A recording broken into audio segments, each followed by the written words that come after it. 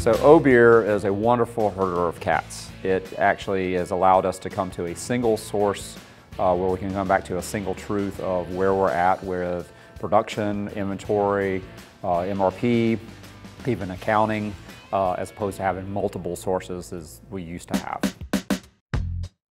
I think one of the challenges, actually a huge challenge that we had connecting the dots in the past before implementing Obeer actually knowing if it was accurate information. It's really made us much more efficient with things. We can actually now spend more time not only making beer, but make, having a little bit of confidence and security knowing that we do have all the materials that we need to do everything on a daily basis. We originally started out probably like most startup breweries, we were using QuickBooks. We actually abandoned that solution. Uh, they weren't really a great provider for us. They didn't, they kind of listened to us, but didn't really help us integrate a lot into our business. Obeer, after pleading with our ownership for a few years, I finally got, got them to see the light and uh, we implemented Obeer and been very happy and successful with it so far.